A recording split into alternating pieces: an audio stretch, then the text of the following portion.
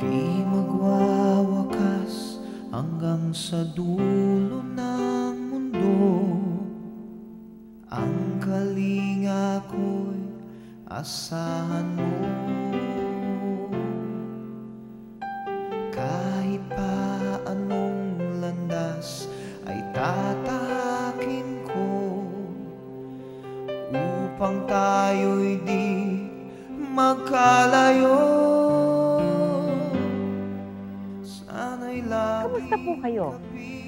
si Mel Tiangco na muling maghahatid sa inyo ng isang kwentong hango sa toong buhay at may pitak sa ating puso. Isa siyang inang pilit sinubok ng mga trahedyang sunod-sunod na kumatok sa kanilang tahanan. Una na rito, ang kanyang bunsong anak, na sa murang edad ay may kakulangan na sa pag-iisip. Isang anak na nangangailangan ng kalinga at pagmamahal ng iba yung unawa at pasensya. Pero paano niya gagampanan ang papel ng isang ina kung sa bandang huli ay kailangan niya ring itaguyod ang kinabukasan at kabuhayan ng kanyang pamilya? Isang pamilyang unti-unting sinisira ng galit at pagkamuhi, gaya ng panganay niya na ikinahihiya ang kapatid na baliw, ang sinasabing punot dulo ng kanilang paghihirap. Mga kaibigan, narito po ang isang kwento ng pagpapatawad batay sa tunay na buhay kasaysayan ni Elvira Lerom. Tunghayan po ninyo. Ay,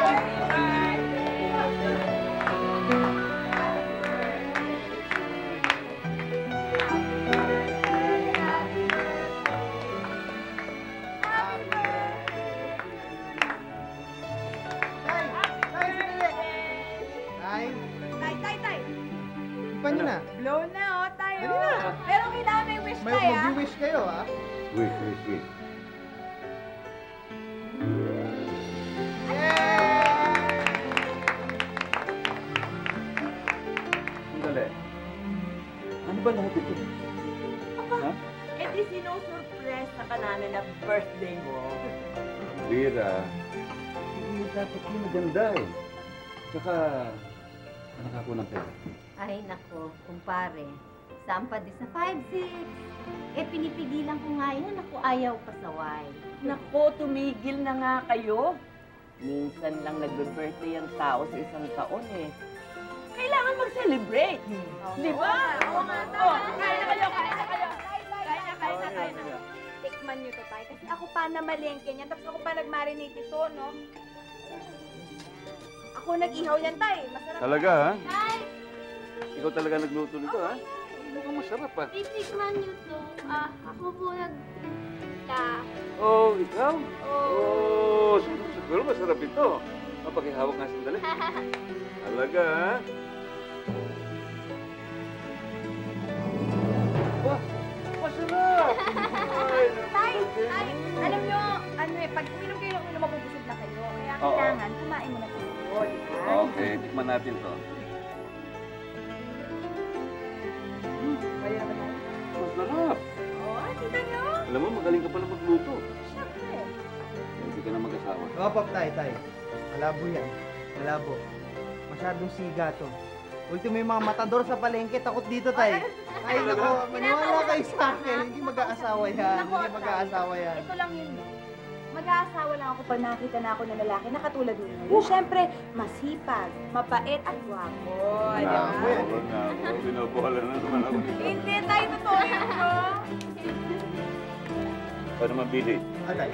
Ano naman ang tinulong mo rito? Ah, syempre, Ay nako. Eh paano makakatulong yan? Andun palagi sa kanto, nagbibilyar. Ah, ay bagay. Okay lang yung maglibang paminsan-minsan. Pero huwag dadaan sa sugal. At huwag mong kakalimutan ang pag-aaral mo, ha? Oh, tay. Promise. Okay? Promise, ha? Promise. Good. Larawan ng masayang pamilya sina Elvira at ang kanyang mag-anak. Kung kaya't minsan ay hindi sumagi sa isip ni Elvira na lahat ng ito'y maaaring maglaho sa isang igla. Bakit, bakit kasing baho kayo? Nag-aalala lang ako sa iyo, eh. Ho, Bakit naman ho? Baka nagiging pampabigat kami sa iyo. Kaya, kaya hindi ka pa nag-aasawa. Tay, ano ba naman yung mga iniisip ninyo? Baka kasi, baka kasi kami ang dahilan. Ah, alam ko, nagtitinda ka ng isda para makatapos si Billy. At ah, tumutulong ka naman sa paggagamot kay Maria. Ano ba nangyari sa inyong dalawa ni Joel? Ang tagal-tagal na ninyo eh. Bigla naman kayong naghiwalay.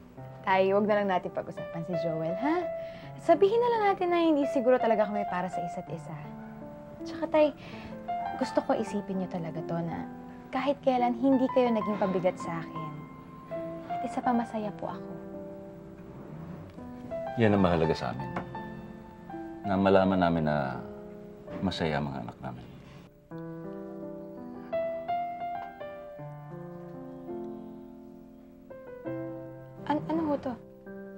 Regalo ko sa'yo. Tay, tay kayo may birthday, bakit ako may regalo? O eh, kung ako may birthday, eh, matagal ko nang gustong ibigay sa'yo yan eh. Kaya lang, ngayon lang ako nakapag-iipon. Alam kong gustong gusto mo yan. Sige, buksan mo. Buksan mo.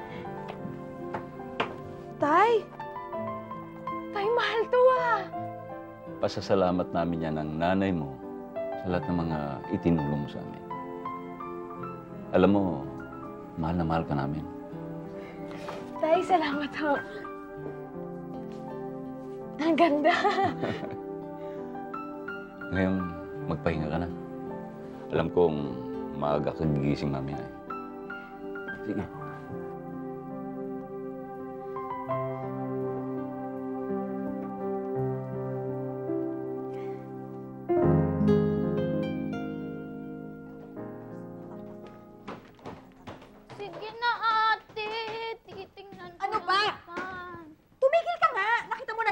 ako? Titingnan ko lang naman. Nadamot na. Relo ko to, binigay to ni tatay, sisirain mo lang. Kaya tumihimik ka na. Nga, bibili ako kay tatay ng sarili kong relos. Tingin mo bibili ka? Hindi kayo bibili nun. Ako lang mahal ni tatay eh. Hindi ah. Mahal na ako ni tatay. Hmm, hindi ka mahal nun. Yun lang ang akala mo, kaya manahimik ka na. O, ano ba yan? Esther! Ba naman? Alam mo namang may diferensya yung kapatid mo, pinapatulan mo pa? Isa, ano ba? Ano pa? Nag-aaral ako dito, hindi ako makapag-concentrate. Eh bakit ka pa dito mag-aaral? Ba't hindi ka dun sa kwarto? Nandun na ako kanina, sinusundan ako nito. Bakit ba kasi parati na lang itong babaeng to kinakampihan ninyo?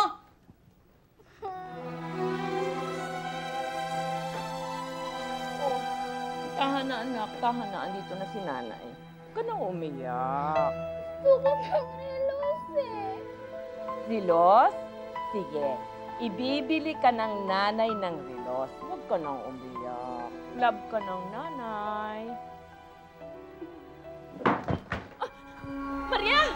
Maria! Ano nangyayari sa'yo? Maria! Maria!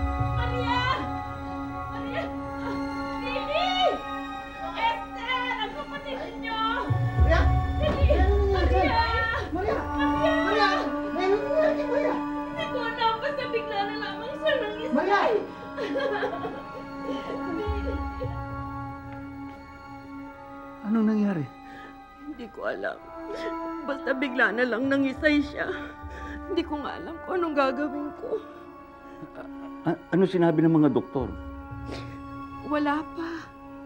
Maghintay lang daw dito. Ah, excuse me. Kayo po ba mga magulang ng pasyente? Opo. Ah, nagkaroon po kasi siya ng atake ng epilepsy. At maaaring mas lumala ang kanyang mental retardation. Epilepsy? Ang epilepsy po ay isang mental disorder kung saan ay nagkaroon ng abnormal electrical discharge ang kanyang utak. Ang sintomas po niyan ay pangingisay. An- ano po ang dapat namin gawin? Ah, Mrs., meron akong ibibigay sa inyo mga medication. Ah, pwede natin siyang bigyan ng shock treatment. Oh, Ah, pero hindi ko nire-recommend yun. We will just hope for the best. May mga kaso naman po kasi na kusang nawawala na lang sakit na ito.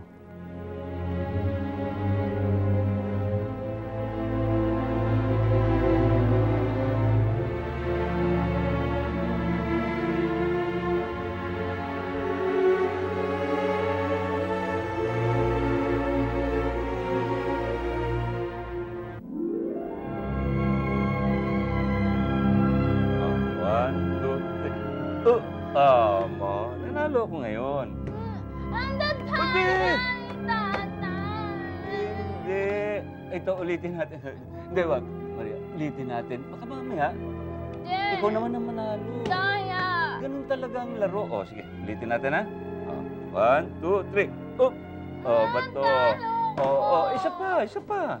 Oh, Tay? one, two, Tayo, three. nakaahin na ho Oh. sa kusina. Kain mo Oh, tayo. one, two, three. Mamaya na. Mamaya, mamaya na, mamaya na. Tay, oh, pawis na yung likod niyo. Tatapusin muna Magkakasakit namin. kayo niyan. Palitan niyo man lang yung Hindi, niyo, tay. tatapusin namin muna itong laro ito. Sige na, sige na. Oh, okay, Jack and Poy tayo. Okay. One, two, three. Ah! One, oh, isa pa, isa. One, two, three. Hop! Oh, ikaw ang nanalo. Di ba? oh, ayaw mo na? Oh. Kung nagugutom ka na, mauna ka nang kumain. Eh, okay lang ako, Nay. Maya-maya na. Sip pa naman din ako. Elvira! Elvira! Sarah, bilisan nyo! Inaatake itong kapatid nyo! Maria! Maria! Maria! Maria! Anak, nandito dati. Anak! Maria! Tay? Tay? Tay ba? Tay? Tay? Yo! Cecilia! Tay? Tay? Cecilia! Tay? Cecilia, Pili! Tay? Pili! Tay! Maria! Tay!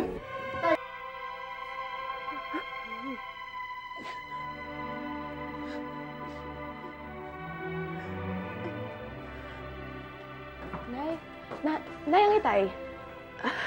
Bakit gising ka pa? Gabi na. Bakit hindi niyo pa siya kasama? Ma- matulog na kayo. Mat- matulog na kayo. Nay, sandali. Na, naiwan ba sa ospital ang tatay? Esther, Pupuntahan ko siya doon, ha? Magbibis lang ako. Mabilis lang ako, Nay. Esther. Wala na siya. Hindi, hindi. Na, nasa ospital si tatay, Nay, eh. Pupuntahan ko siya kasi kawawa siya doon. Mag-isa lang siya. Esther. Esther. Patay ng tatay mo. Pwede yun. Sinungaling ka. Hindi pwede mamatay si itay. Wala na siya, Hindi, hindi, hindi, hindi, hindi. Bawiin niyo yan. Wala na siya. Hindi pwede. Hindi siya pwede mamatay, eh. Nay, hindi mahal tayo. Hindi tayo iiwan. Nay,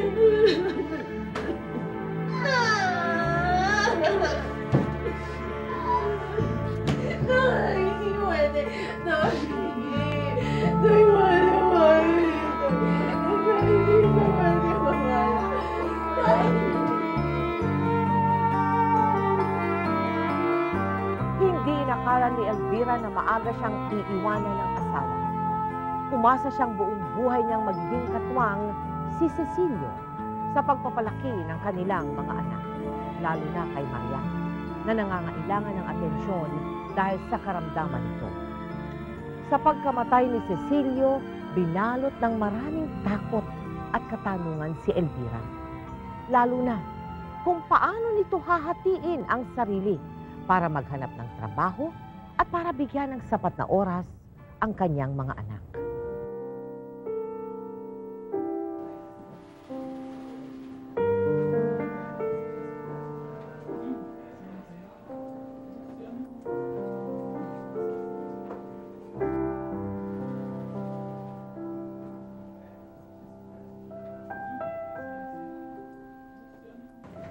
Maraming salamat.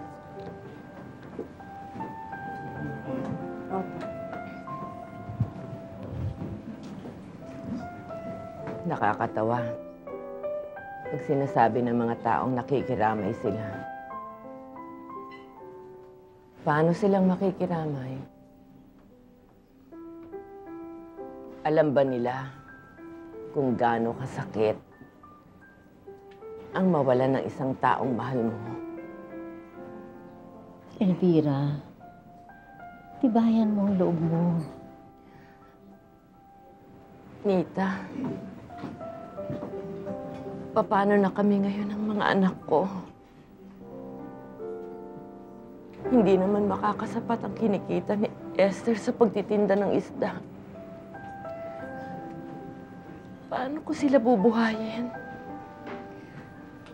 Yung amo ko, kailangan pa ng isa pang yaya. Pwede kitang ipasok doon. Huwag ka nang mag-alala. May awa ang Diyos. Makakaraos din tayo. Salamat, Nita.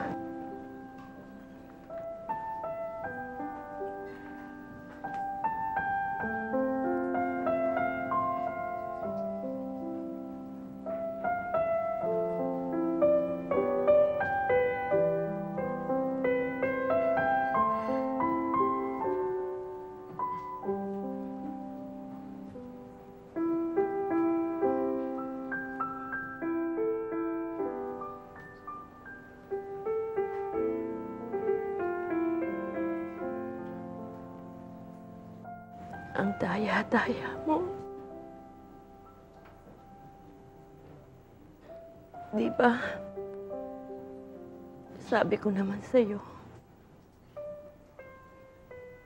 Di bali nang hindi mo maibigay sa amin ang mga luho. Basta, nasa tabi kita. Basta, sama-sama tayo. Walang iwanan. Bakit ngayon? Iniwanan mo ko.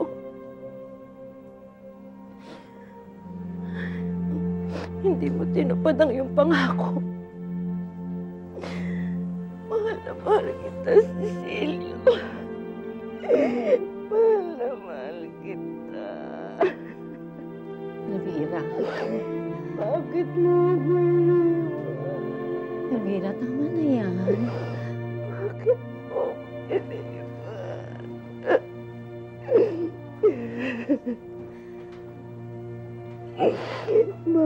Mo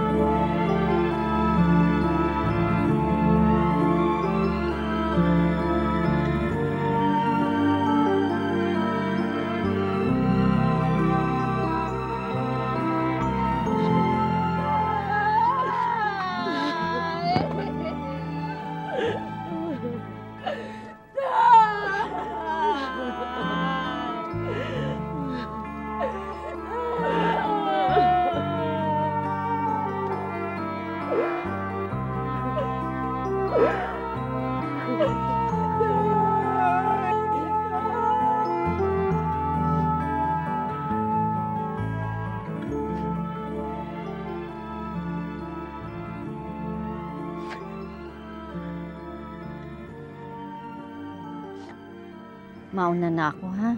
Hinihintay ako ng mga bata. Basta, Elvira, kahit na anong kailangan mo, ha? Pasabi ka lang. Maraming salamat. Maraming salamat, Nita.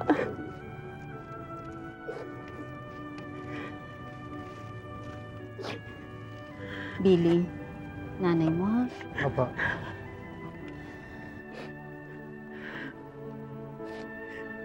Kain na, kuya.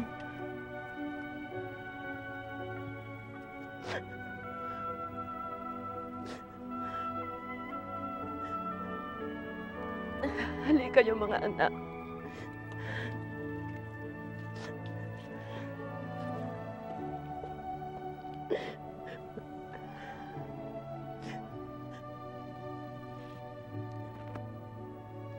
Ngayon, wala na ang tatay niyo. Tayong apat na lang dito sa mundo. Alam ko, magiging mahirap. Pero basta sama-sama tayo, tulong-tulong tayong apat. Walang hindi maaring malutas.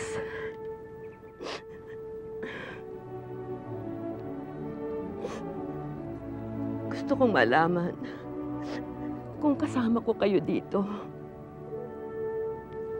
Oo, Nay.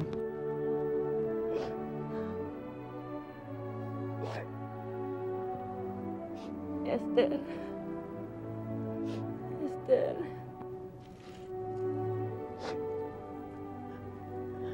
Esther, saan ka pupunta? Uuwi.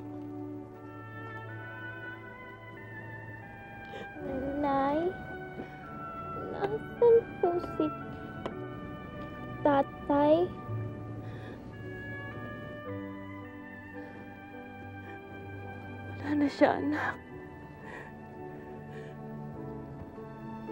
Nasa langit na ang tatay. Kasama ng lolo at lola. Di ko po maintindihan. Di na kami lalaro ng Jack and Boy. Hindi na. Pero kahit na wala ang tatay, hindi mawawala ang pagmamahal natin sa kanya. Hinding hindi natin siya kalilimutan.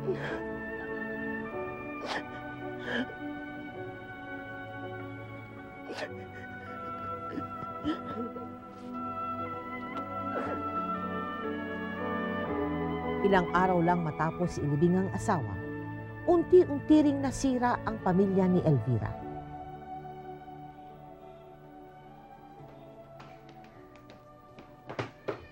Ate. Ate, pahiram. Kaka makulit, pumasok sa loob. Sige na, ate. Sinabi ko huwag ka makulit, pumasok ka doon. Pa, pa, pahiram nga, ate. Ikaw, ha? Hindi ka na talaga marunong umintindi, no? Ha? Di ba sinabi ko pumasok ka na? Esther, ano ba yan? Ano ba yan? Bakit ba? Lapit ng lapit at pagsabihan nyo nga yan! Kinakausap pa kita. Huwag mo akong tinatalikuran. Ano bang problema mo? Ilang araw ka ng ganyan? Gusto nyo malaman kung ano problema ko? Oo. Dahil iisang pamilya lang tayo, dapat kung may dinadala ka, sabihin mo sa amin. Hindi yung kung kani-kanino mo binubunton. Iisa lang naman ang problema ko eh. Yung pesting batang yan, yan ang problema ko. Dapat siya na lang ang namatay, hindi ang tatay ko.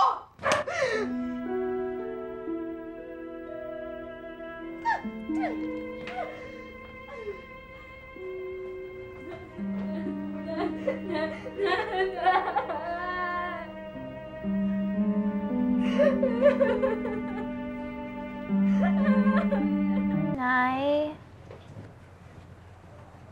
Ba't girl pa ba ako? Naku, ano ba namang klaseng tanong yan? Of course, good girl ka. Bakit galit na galit si ate sa akin? Sabi niya, ako daw dahilan na sa langit na ang tatay. Hindi totoo yun. Huwag mong ilagay sa isip mo yon. Alam mo, masama lang ang loob ng ate mo. Kaya siya ganon. Pero maaayos din ang lahat. Promise? Promise. Hindi na magagalit si ate sa akin. Hinding hindi na.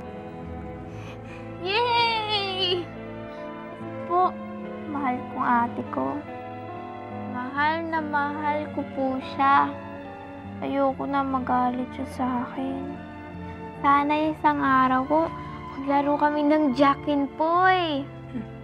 Huwag ka mag-alala. Sigurado ako, darating ang araw, maglalaro kayo ng Jack and Poy. Pero ngayon, dapat matulog ka na. Ina. Pero, kakantahan mo muna si nanay. Sige, kantahan mo si nanay. Sige na.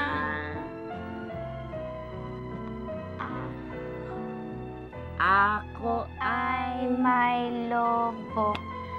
Lumipad sa langit. Di ko nakita. Pumutok na pala. Sayang lang pera ko. Pangbili ng lobo. Sa pagkain sana. Nabusog na ako. Bleh.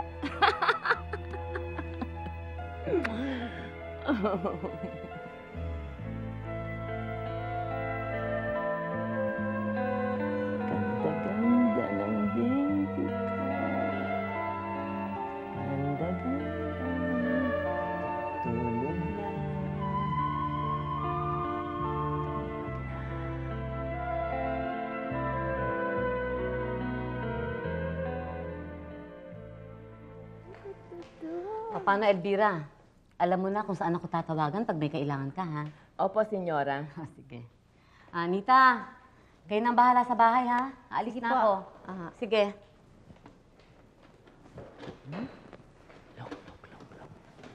sige, laro ka lang dyan. Ganda, no? Ano? Kamusta ka na? Eto, nagyayaya sa umaga. Sa gabi naman naglalaba. Kung pwede lang nga, wag na akong matulog eh. Eh, ang mga bata. Elvira? Ah, si Maria, hindi naman inaatake ng kanyang epilepsy. Pero,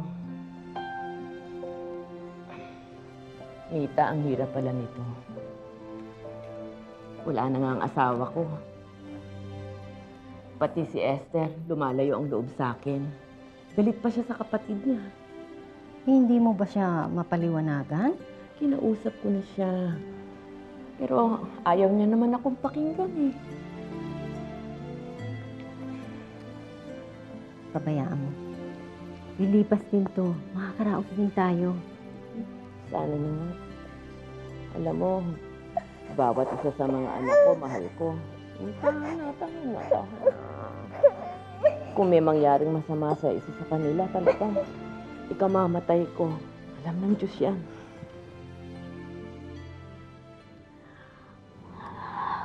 Relos ni ate.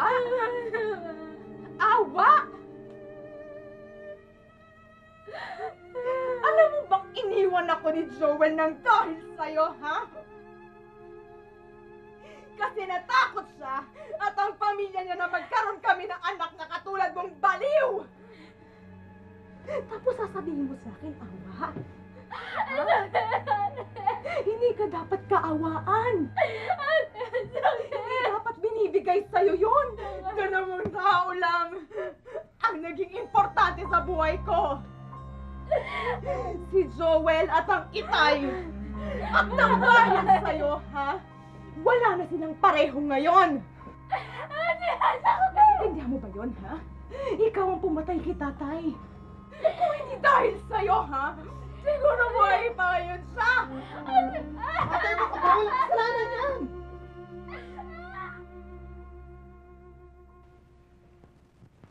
Maria? Maria? Maria? Billy? Billy? Billy? Ay, bakit? Nasaan si Maria? Nasaan ang kapatid mo?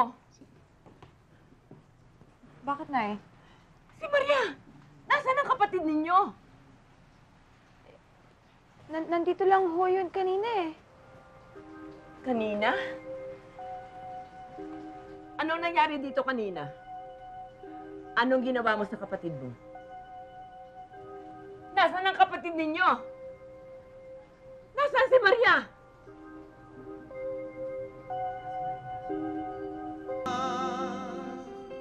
Namasukan bilang yaya si Elvira, maitawid lamang ang pang-araw-araw na pangangailangan ng pamilya. Dahil sa trabaho, di niya namalayan ang lumalaking agwat sa pagitan ng dalawa niyang anak. Patuloy na sinisi ni Esther ang kapatid na si Maria sa pagkamatay ng kanilang ama. Hanggang isang araw ay umabot sa sukdulan ang galit ni Esther at ipagtabuyan si Maria. Labis na dinibdib ng bunso ni Elvira ang pangyayaring ito. Tuluyang itong naglayas at hindi na muling nagpakita pa sa kanila. Abot-abot ang pag-aalala ni Elvira. Hindi malaman kung saan sisimulang hanapin ang anak. Nako, Elvira ha, hindi na pwede yan. Kumain ka na. Ilang araw na walang laman yung sikmura mo eh. Baka mamaya magkasakit ka pa eh. Kain na. Nita, paano naman ako makakakain nito? Mahigit ng dalawang linggo mula nang lumayas ang anak ko. Pero hanggang ngayon, wala pa tayong balita tungkol kay Maria. Pero ginagawa naman natin ang lahat. Eh, ang mga pulis, Pinuntahan ko uli kanina. Kaya nga lang eh, wala pa silang bagong report. Pero ang sabi naman nila, inuuna nila itong kaso ni Maria. Ginagawa nila ang lahat. pero kulang pa. Nita, retarded ang anak ko. Maraming pwedeng mangyari sa kanya. Natatakot ako. Lakasan mo na lang ang loob mo. May, may awa ang Diyos. Hindi ko alam. Kuminsan, hindi ko na alam kung may awa nga siya. Bakit niya ako pinarurusahan ng sunod-sunod? Ano bang naging kasalanan ko? Huwag ka nga magsalita ng ganyan. Tao lang ako. Hindi ako santo na hindi marunong mapagod. Pagod na pagod na ako. Nita, hindi ko na alam kung anong gagawin ko. Una, ang asawa ko. Ngayon naman ang anak ko. Ano pa ang susunod? Nay, Nay, gusto ko lang ho sana. Nay, sandali lang ho, Nay. Nay,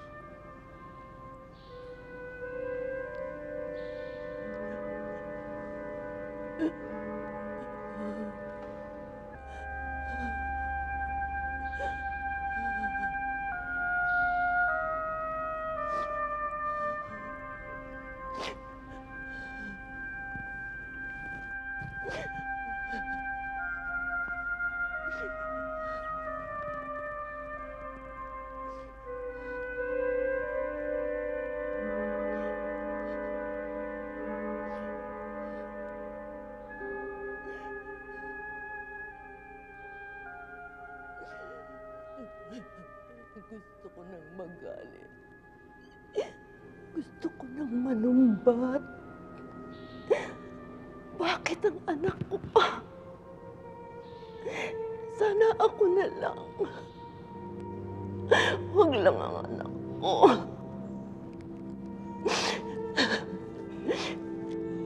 Pero hindi ko naman makuhang magalit sa'yo. Kaya nagmamakaawa ako sa'yo. Parang awa mo na. Pababayaan ang anak ko. Pantayan mo siya. Parang awa mo na. Huwag mo siyang pababayaan. Diyos ko.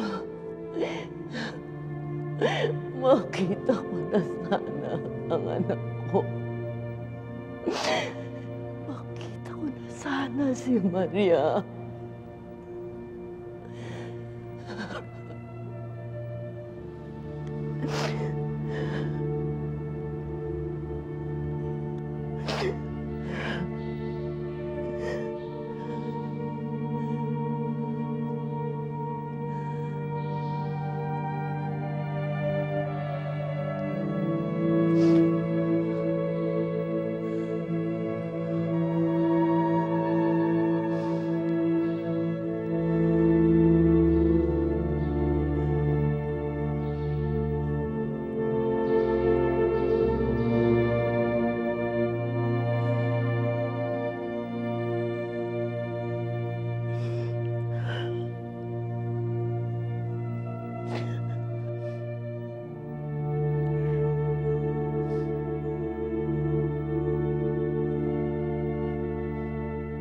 Dahil sa pagkawala ni Maria, naging malamig ang pakikitungo ni Elvira kay Esther.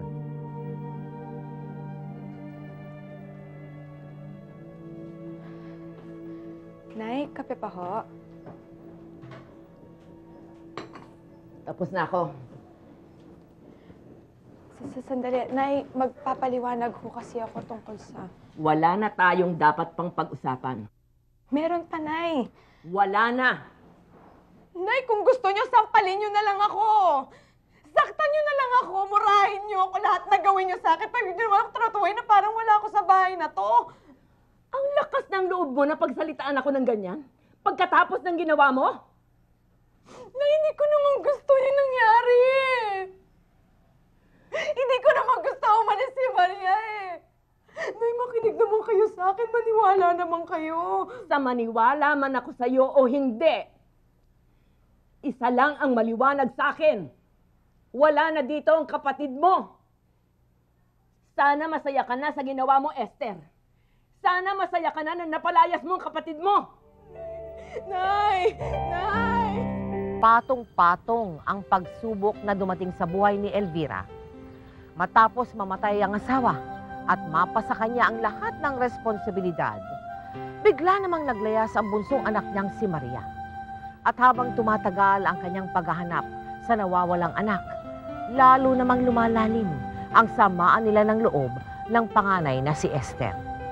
Masakit para kay Elvira na nagagawa niyang alagaan ang anak ng ibang tao, samantalang ang sarili niyang anak ay patuloy na palaboy-laboy sa kalsada.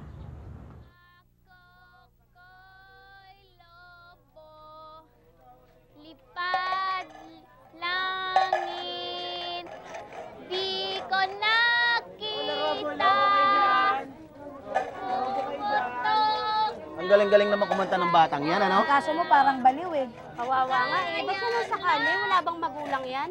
Ang sabihin mo, walang awang magulang niya at pinabayaan sa kita. Putok na pala. Ako ay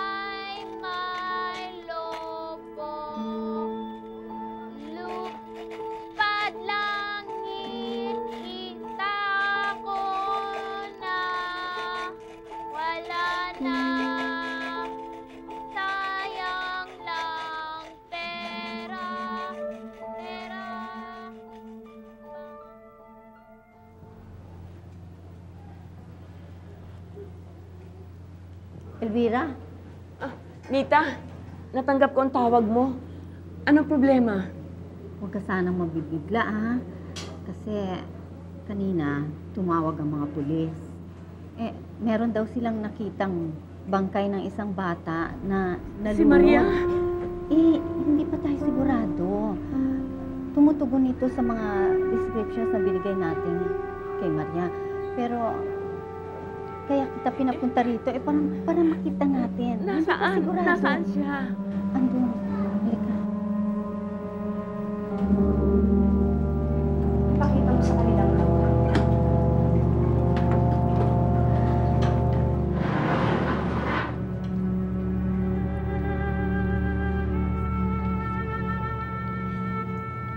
Elvira, gusto mo ako nang magbubukas?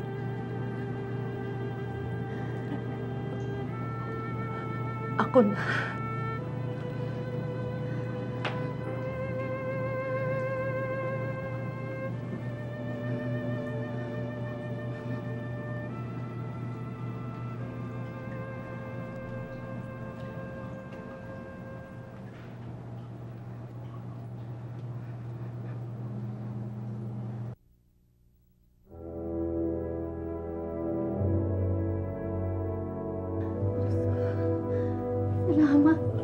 Hindi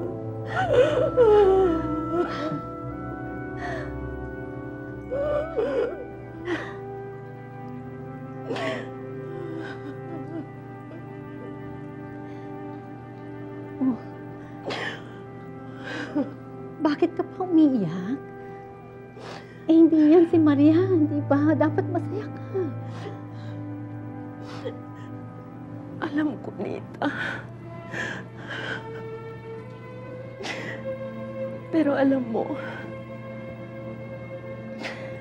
kanina,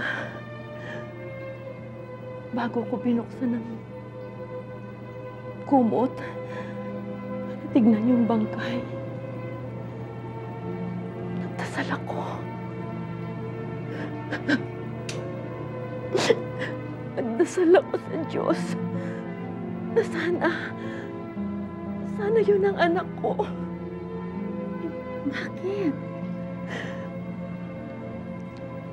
Kasi, kung siya na nga ang anak ko, kahit paano, alam ko, kasama na siya ng Diyos. Maligaya na siya sa piling ng tatay niya. Hindi kagaya ngayon. Eh, hindi ko alam kung nasaan siya. Paano kung sa malamig na simento siya natutulog? Paano kung makain siya sa basurahan? Paano kung may makasalubong siya adik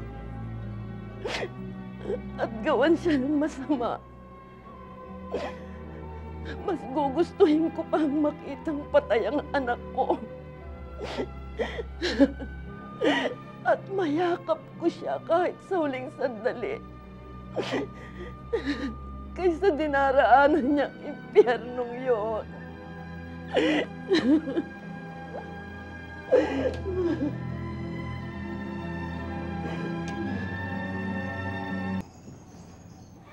O paano?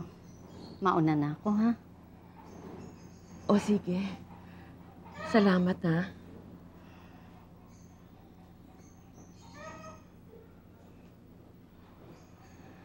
Elvira. Si Maria lang ang anak mong naglayas. Sana naman huwag mong pabayaang mawala sa'yo iba mong anak.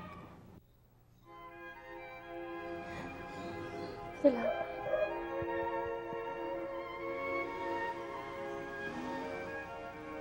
Sige.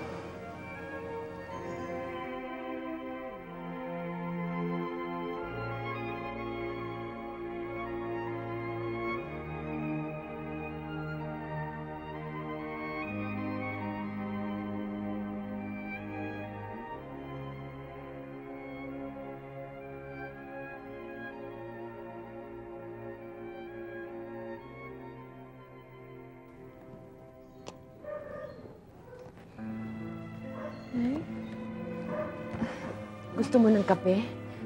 Ipagtitimpla kita. Nay, Nay! Nay? Nay, gusto ko sanang... Hindi ka na kailangang magpaliwanag pa. Naiintindihan na kita ngayon. Tao lang tayo, nagkakamali. Hindi mo naman gustong lumayas ang kapatid mo eh. Nay, masyado akong nagkimkim ng galit ko.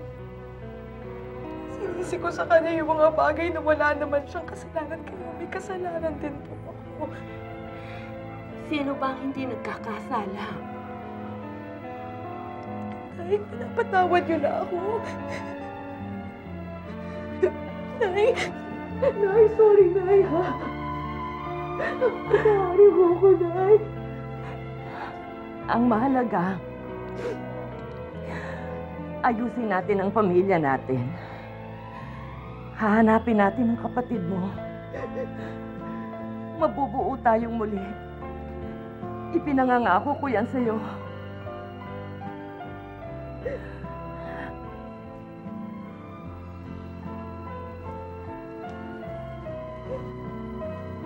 Nay.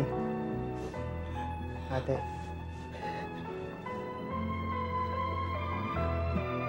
Sa muling pagkakasundo ni na Elvira at Esther, nagkaroon sila ng ibayong lakas na pagtulungang hanapin si Maria. Ewan ko ba? Pero habang tumatagal, parang parang palit ng palit yung chance na makita natin ang kapatid natin. At tingin pa ba tayo mawawala ng pag-asa? Hindi naman ako nawawala ng pag-asa eh. Kaya lang, sa tuwing makikita ko ang inay, tapos sabihin natin sa kanya hindi pa natin nakikita si Maria, nakikita ko kung gaano siya nahihirapan. Kaya kailangan natin makita ang kapatid natin. Kasalanan ko to eh. Siguro kung... Siguro kung hindi ko siya sinisi sa pagkamatay ng itay, siguro hindi siya lumayas. Ate, patawarin mo na rin yung sarili mo. Tapos na yun. Nangyari na. Wala na tayong magagawa. Pero alam mo, babawi ako sa kanya. Pag nakita natin siya, papakita ko sa kanya yung pagmamahal na pinapakita sa kanya noon ni Itay.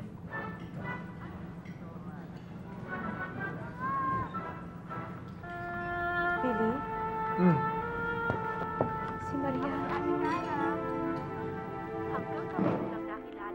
Batang babae. Si Marina. ay nagkapatawaran na rin ang mag-inang sina Elvira at Esther. At bagamat sa simula ay sinisi ni Elvira ang panganay kung bakit naglaya si Maria, naging maliwanag din kay Elvira na maging siya ay nagkaroon din ng pagkukulang sa anak. Magkatulong nilang hinanap si Maria.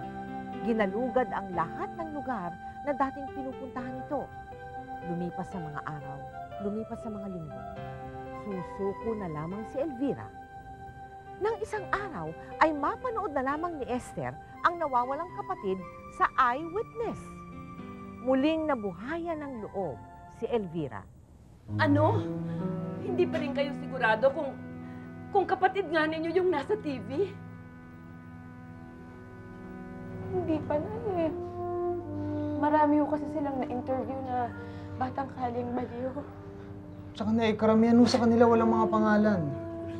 O, paano yan? Saan na tayo ngayon pupunta? Nakausap naman ho namin yung yung executive producer po ng Eyewitness. Sabi ho niya nasa nasa mental pa rin daw po yung mga yung mga batang ginamit nila sa programa. Pero Nay, malamang ho, kung si Maria nga yung nakita namin sa TV, malamang nandun pa rin ho siya. Paano? Paano kung wala pa rin siya doon? Paano nga kung wala pa rin siya doon? Esther, hindi ko na yata makakayanan. Ikamamatay ko. Ikamamatay ko. Sumunod lang po kayo sa akin. Ito na po ang lahat ng dinala ng mga pulis. Tingnan niyo na lang po kung alin dito ang anak niyo.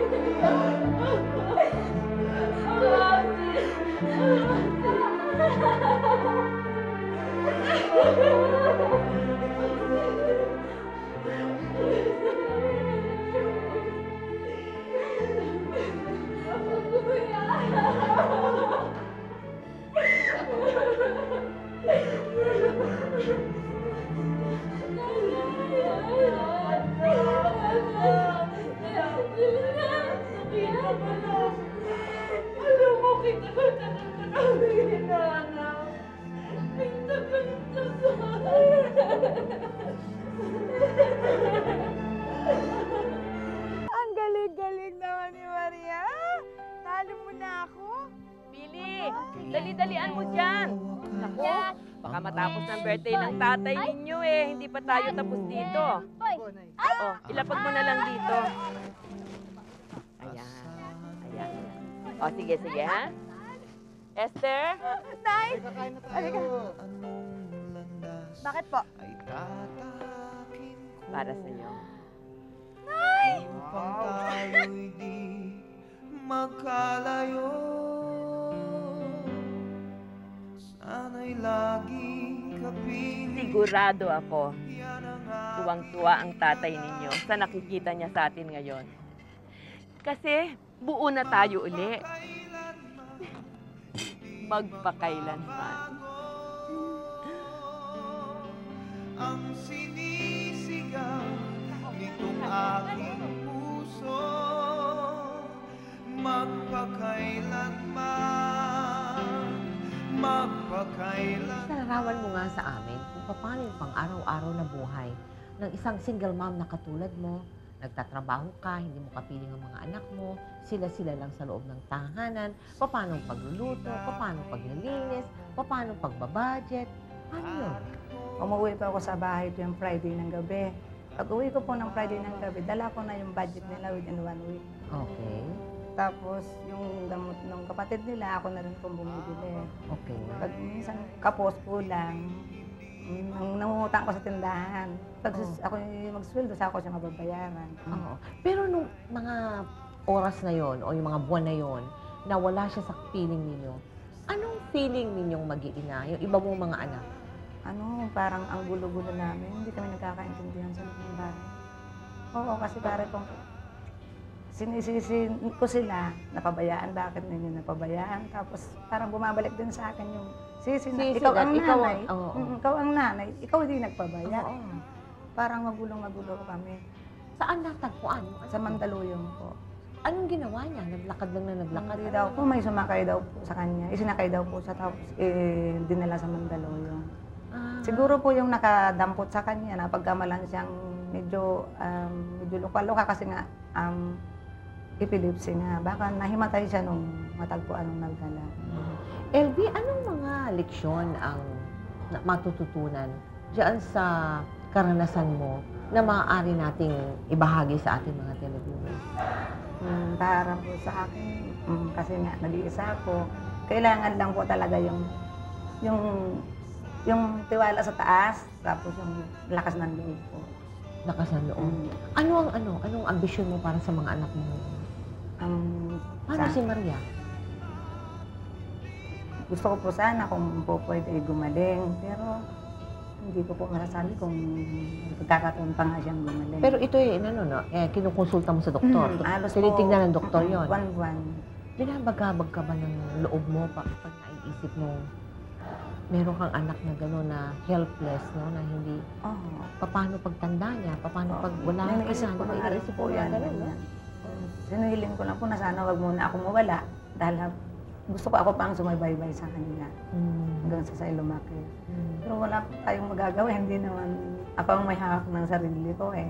Basta Oo. bahala na po ang Diyos. Oo. Sa kanya ko po ibinibigay ang lahat ng problema. Oo. oo. So, pagka nananalangin ka sa Panginoon, anong hinihiling mo? Mm, Madalas po, yung sana pagalingin niya itong anak ko. LV, kami eh naghandog sa mga anak mo, lalo na kay Maria ng television set. Ha?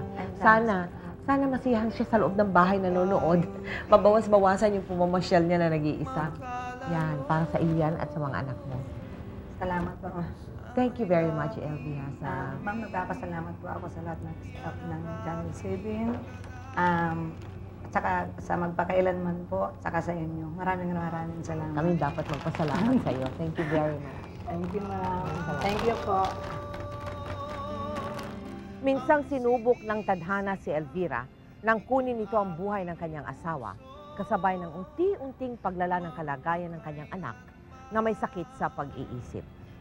Sa paglalayas ni Maria, tila lalong nabaon sa problema si Elvira. Pero sa isang banda, nakatulong din ang biglang pagkawala ni Maria para muling pahalagahan ni na Elvira at Esther ang pamilyang unti-unting sinisira ng kanilang pagdadalamhati. Ngayon, di lamang sila buo, kundi higit na mas matatag at masaya. Ako po si Mel Tiangco at ito ang kwento ng bawat isa sa atin. Ngayon, bukas at magpakailanman. Ibig natin ay aawitin mo Sana ay pakinggan Tayo ay